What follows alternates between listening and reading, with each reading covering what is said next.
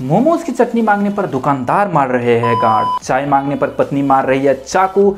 इतना ही नहीं, पर संभोग के दौरान बॉयफ्रेंड की हो रही है मौत।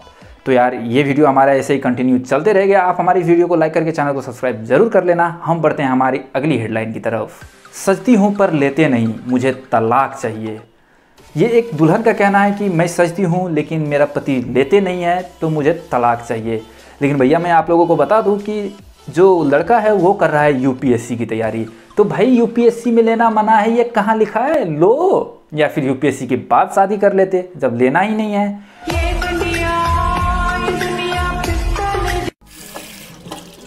अगला हेडलाइन चैटिंग से बने लवर मिलने पहुँचे तो निकले पति पत्नी भाई, हर एक एंजल प्रिया नाम के लड़के ही नहीं होते हैं। कुछ आपकी बीबी भी हो सकते हैं। तो कृपया उनसे मिलने से पहले वीडियो कॉल कर लिया करो। क्या पता वो तुम्हारी बीबी तुम्हारी गर्लफ्रेंड कुछ भी निकल जाए यार।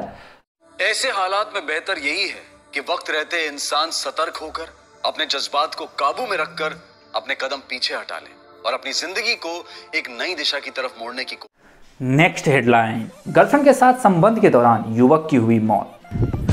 भैंचोद वो संभोग करने गया था या फिर पहलवानी? अरे बताओ माँ बाप भी क्या ही बोलेंगे कि बेटा मेरा संभोग के दौरान शहीद हो गए?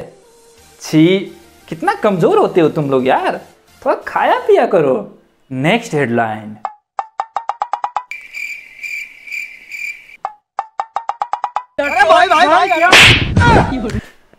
भाई ये हेडलाइन हमसे नहीं पढ़ी जा रही है। तुम ही लोग पॉज करके पढ़ लो यार। और हाँ पढ़ने के बाद सिर्फ़ बैठे रहना है कहीं और मत चले जाना।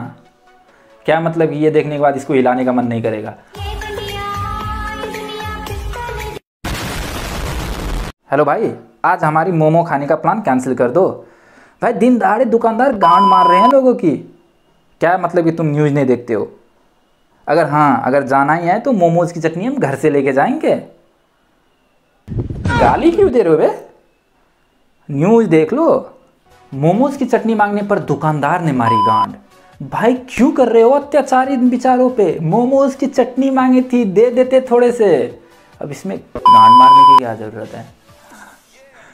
यही होता है, जब तुम एक्स्ट्रा चटनी मांगते हो और एक्स्ट्रा पे नहीं करते हो, इसलिए एक्स्ट्रा पे किया करो, ऐसा नहीं होगा तुम लोगों के साथ। नेक्स्ट हेडलाइन परीक्षा में प्रेमिका हुई फेल तो प्रेमी ने फूक दिया पूरा स्कूल भाई, लोग प्यार में अंधे होते हैं, लेकिन ये तो पूरा पागल हो गया है।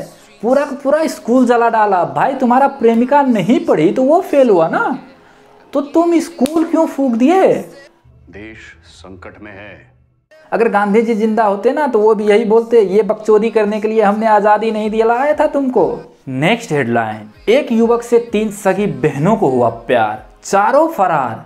अरे भाई, ये लोग कहाँ से मन्नत मांगते हैं यार? कौन सी चक्की का आटा खाते हैं? यहाँ पर तो हमारे देश के आधा युवा सिंगल घूम रहे हैं। लेकिन ये लड़का तीन सगी बहनों को एक साथ पटा लिया। अरे भाई। तुम्हें शर्म है कुछ? कुछ शर्म आया है? अरे यार, इससे आगे और फनी हेडलाइंस मुझे से नहीं पढ़ा जाएगा।